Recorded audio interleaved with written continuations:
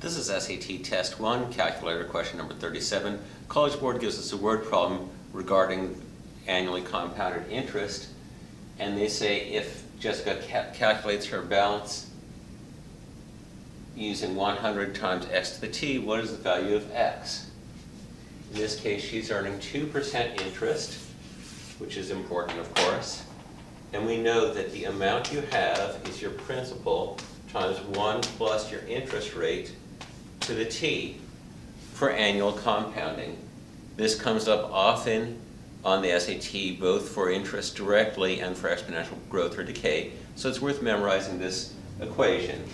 In this case, your amount is your principal, which is 100, 1 plus your interest rate, which is 0.02, to the t. That's 100 times 1.02 to the t. And that's equal to 100 times x to the t, which tells us 1.02 is equal to x.